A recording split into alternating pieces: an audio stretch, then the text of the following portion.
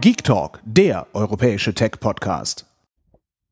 Einen wunderschönen guten Morgen und herzlich willkommen diesem 8.11.2020 ist Sonntag und ihr hört die Geek Talk Daily 910. Heute Apple Pay, HomePod Mini, Brandenburg, Spotify und Google Fotos. Ja, es ist Sonntag und ich hatte Lust auf eine Daily deshalb kommt sie jetzt. Heute 507 Millionen geschätzte iPhones sind es anscheinend, die Loop Loop Ventures, genau, mittlerweile ermittelt haben möchte, ein bisschen Zahleraten aus den Quartalszahlen raussaugen und dann den Finger in die Luft und mal ein bisschen rumgeschoben. Das wären circa 51 Prozent aller iPhone-Besitzer, die mittlerweile Apple Pay bei sich aktiviert haben. Das kann ich mir immer mehr vorstellen, zumindest wenn man gesehen hat, wie stark in den letzten Wochen und Monaten Apple Pay gewachsen ist und wie viele Banken da immer mehr dazukommen. Natürlich, es gibt immer noch diese großen, lustigen, wie in der Schweiz die Postbank,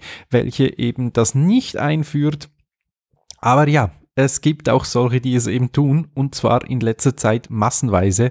Und Covid-19 und die ganze Hygienik, Hygienegeschichte rund um das analoge Geld haben da natürlich sicherlich auch dazu beigetragen. Weiter geht's mit dem HomePod Mini seit dem Freitag ist er jetzt bestellbar. Ab 14 Uhr ging's los und das Ganze ging dann auch ziemlich schnell hoch. Ja, sogar sehr hoch.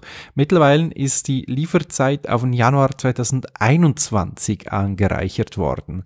Ziemlich heftig. Ich denke mal nicht, dass da nur Apple Verknappung mit was dazu beigetragen hat, sondern auch das Preisschild, was ja bei euch in Deutschland zumindest bei 96,50 Euro nicht wirklich hoch ist für ein Apple-Produkt. Und äh, ja, ich bin gespannt. Test äh, dürfen auf sich warten lassen. Mal schauen, vielleicht haben wir nächstens auch mal was im pogipsi.ch Blog darüber zu berichten.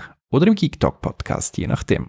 Dann gibt's für alle Besitzer eines Blackmagic Item Mini einem Videomischer, den ich euch nächstens ausführlich im pokipsi.ch Blog vorstellen werde. Da gibt's Neuigkeiten dazu, ein Firmware-Update, das ziemlich praktisch und wichtig ist, 8.5.1 mittlerweile sogar Punkt 2 draußen, aber dazu mehr im verlinkten Test, äh, im verlinkten Newsbeitrag. Es gibt Input-Monitor-Verbesserungen, es gibt frei konfigurierbare Tastenhelligkeit, ein Ding, das es eigentlich schon von Anfang hätte geben sollen, aber ich bin froh, dass es da ist. Und der Speicher, der integriert ist, nicht mehr flüchtig. Dinge, die sehr, sehr praktisch sind und man installieren sollte, wenn man denn so ein Gerät besitzt. Dann gibt's Neuigkeiten aus Berlin da verzögert sich wieder mal was. Nee, nicht der Flughafen, der hat ja geöffnet und ja, auch, glaube ich, schon wieder geschlossen wegen neuem Lockdown. Aber ja, die Tesla-Fabrik, die ja nicht weit davon entfernt ist, die verzögert sich und verzögert sich. Eigentlich sollte per 1. Oktober zumindest die ähm, Lackierstelle oder die Lackier äh, Lackiererei, jetzt ist gegangen, ein Teil des ganzen Buildings gebaut werden. Das verzögert sich jetzt noch weiter, weil auch da irgendwelche Themen sind, die noch abgeklärt werden müssen.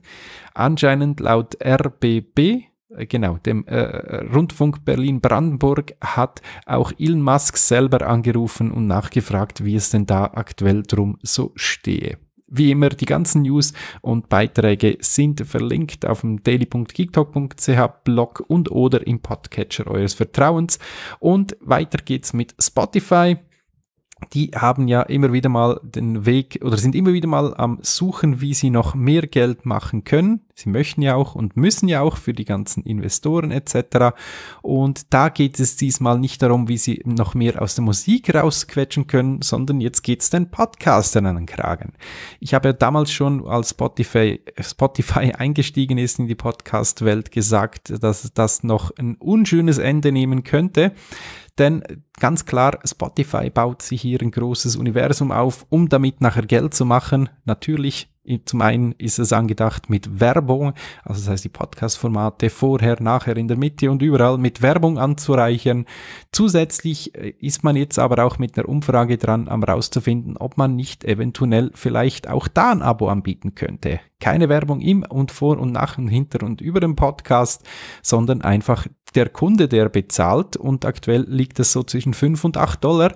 Da bin ich jetzt mal gespannt, was da die Nutzerschaft oder die Hörerschaft von Geek Daily dazu sagt. Gerne Feedback dazu über den Blog, über die ganzen Social Media Kanäle, aber natürlich auch per E-Mail und so wie ihr uns immer erreicht. Da bin ich gespannt. Da werde ich auch nächste Woche in die TikTok News Folge mit dem Achim und dem Mike ein bisschen drüber diskutieren. Und zu guter Letzt geht's noch weiter im Bereich des Zahlens. Google Fotos ein Dienst, den man eigentlich immer mit seinen eigenen Daten und in diesem Falle halt mit den Bildern bezahlt hat. Da kommt jetzt neu hinzu, dass Google auch ein bisschen experimentiert und zwar gehen jetzt gewisse Features, zumindest aktuell mal eins, um Bilder zu bearbeiten, hinter eine Bezahlschranke. Wer Google One Kunde ist, und das ist so das Pendant zu Apples iCloud, der kann da gewisse Funktionen mehr nutzen und ja, auch da bin ich sehr gespannt, wie das ankommt. Zum einen bezahlen mit den Daten, also den eigenen Bildern, und dann noch zusätzlich mit Geld, was man da reinschmeißt. Auch dazu dürft ihr gerne Feedback dalassen. In diesem Sinne, bis bald, euch einen schönen Sonntag, Restsonntag muss man ja mittlerweile sagen, und morgen dann einen guten Start in die Woche mit dem Achim, wenn alles klappt. In diesem Sinne, bis bald, euch, euer Pokipsi, so rum. Hört mehr Geek Talk.